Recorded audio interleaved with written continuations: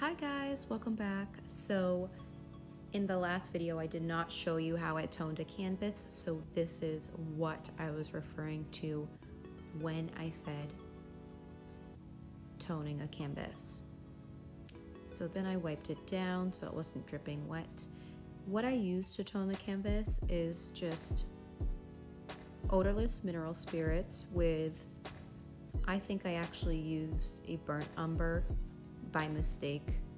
Typically I use raw umber or I mixed my raw umber with a little bit of red or alizarin or terra rosa. And then I did use the paper towel to add some texture to the background as well as to wipe out lighter spots in the painting. I made sure to push my darks really dark and make the lights where I saw them really light. So I'm sure you're wondering who I'm painting or why I'm painting this person.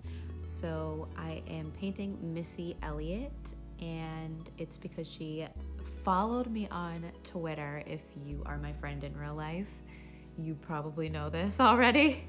so I apologize for being extremely redundant.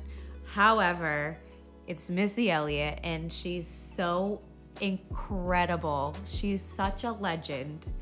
I still am just like, oh, I love her so much. I had to paint her.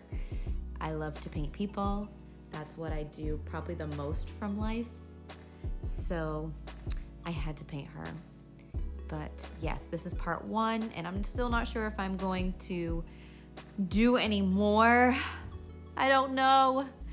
I don't know. A lot of people have said to leave it, and some people have said to color it, and I'm just really not sure. But I am going to get this to her. I am so determined, and this is where I've kind of left off and enjoy.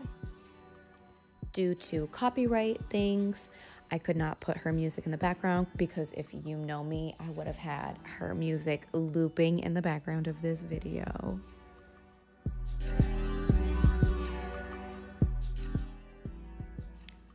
I would really love to know if you guys prefer me to talk about what I'm doing as I'm painting do you care to know about other things in relation to painting or how I relate my painting to my life?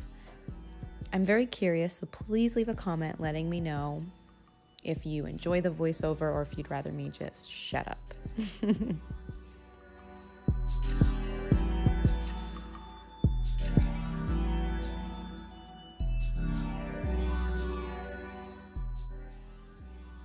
Thank you so much for watching. If you have enjoyed this time lapse, please subscribe, like, and comment.